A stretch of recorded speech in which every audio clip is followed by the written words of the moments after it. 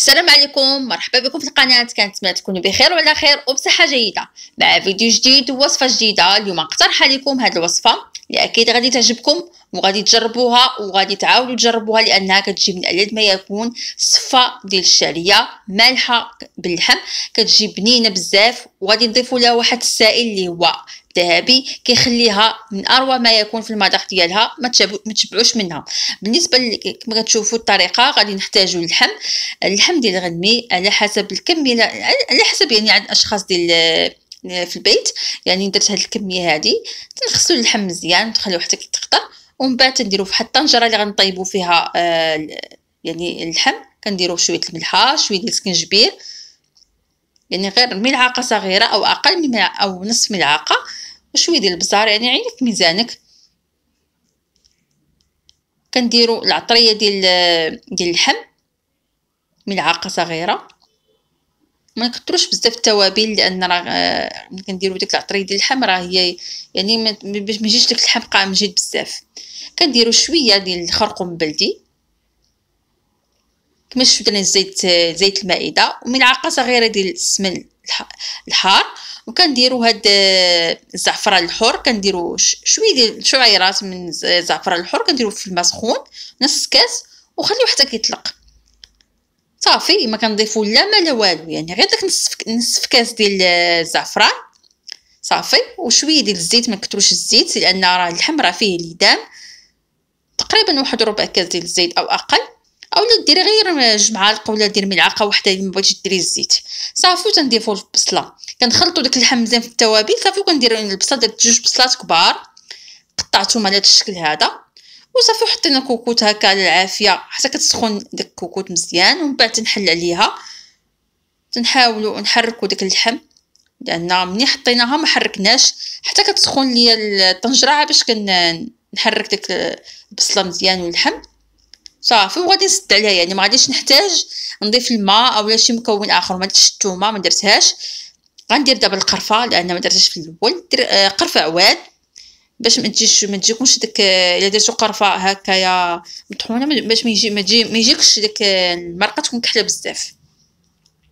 صافي كن غنسدو عليها ما غنضيفو لا ما لا والو كما قلت لكم لأن اللحم غنمي كيطلق الماء والبصله حتى هي كتطلق الماء. كنسدو عليها ونديرو الصفاره صافي كنقصوا العافية. كما شفتوا راه غلات الطنجره غلات. صافي غادي نقصوا العافية ونخليوها طيب على خاطرها لأنها على حسب عاوتاني الطنجره كي دايره كانت ثقيله تزيدي تكون العافية متوسطة. صافي وكنخليوها كطيب كيطيب داك اللحم. من بعد غادي ناخذوا الصفة ديالنا هذه هي الصفة اللي درنا اللي درت هي كتكون رقيقة بزاف. كاين فيها أنواع. تقريبا هنا واحد 900 غرام ديال الصفة. كنحاولوا نديروا فيها الزيت كاملة. يعني تخلي الزيت مزيان ديك الشعرية ومن بعد تنديرها في الكسكاس باش تفور. يعني البرمه كنديروا فيها الماء حتى كيغلى ومن بعد تنحطوا عليها هاد الكسكاس. كما شفتوا الصفة كندخلوا فيها الزيت مزيان وتنخليوها حتى كتفور من بعد ما حطيناها يعني طلعت تفويره يعني تقريبا واحد 15 دقيقة بحال هكا كتطلع مزيان. تنحيدوها وتنضيفوا لها داك الكاس اللي قلت لكم هاد الكاس فيه الزعفران. خل خليته في يعني طلق في الماء كاس ديال الماء يكون سخون حتى كيطلق مزيان وكنصفيه. هذه الطريقة كنسقيو بها هذيك الشعرية يعني كتجي بنينة بديك الزعفران الحر كتجي زوينة بزاف جربوها. صافي كنضيفوا الماء الماء يكون بارد يعني عادي. تنحاولوا ندخلوه في ديك الشعريه بحال هذا الشكل هذا. واخا كتشوفوا الماء راه كاين لتحت خليوه يعني راه غادي تشربوا مازال. واخا تيبقى من بعد غادي تغدي تسقيو به يعني من بعد عاوتاني غادي نعاودو نرشوها بالماء. كما كتشوفوا راه شربات دابا.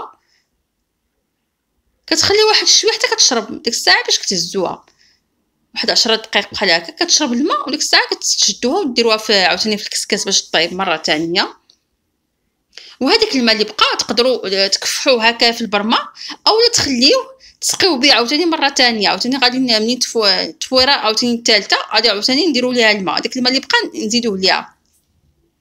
كما شفتوا من بعد ما خليت خليتها تفور تفور ديك التفورة الثانية واللحم راه طاب كما شفتوا راه دغيا تيطيب الغنمي كتسدو عليه غير شوية غير كتصفر كتحلو عليه كتلقاو بأن راه طاب ومازال راه طلق الماء كما شفتوا غنحاول نخليها الطنجرة غادي ما نغطيش عليه نخلي غير يعني غادي نغطيو عليه غير شوية باش يتبخر داك الماء ونفس الوقت كي آه كتجي كتكون التغميره ثقيله وصافي تناخذوا شوية ديال إما ديروا هذاك الزبيب أو لا أي حاجة بغيتو تزينوا بها نتوما ديك الصفة.